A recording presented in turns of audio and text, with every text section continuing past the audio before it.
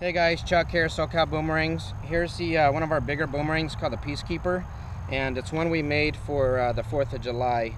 And um, it's 25 inches tip to tip here, and uh, 14 and a half inches approximately from outside of the blade to outside of the blade. And um, here's the back of it. It's made out of 10 ply, 5 millimeter aircraft grade birch.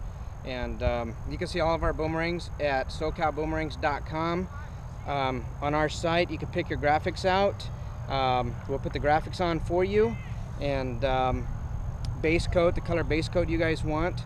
So anyways, check us out again at SoCalBoomerangs.com and let's see if we can get a nice return flight out of this.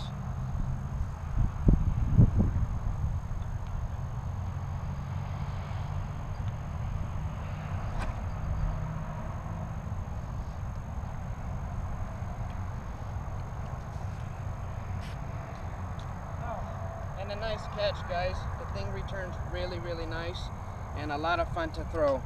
Uh, we'll catch you next time, guys. Take care.